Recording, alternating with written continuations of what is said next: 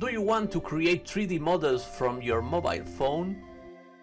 Now that is possible. I will show you how to do it for free. We open the store of our device. Look for Mega Voxels. We just install it. We must accept conditions of use and advertising. They show us a tutorial to understand how to create a 3D model. The example shows how to create a dog.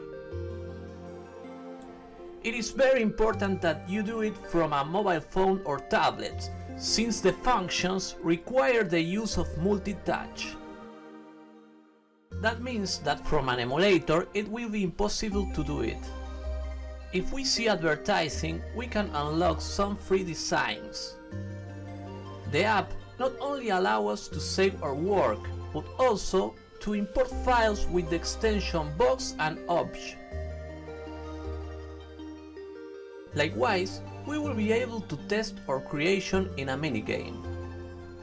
If you want to know more about how to create your own video game, subscribe to my channel.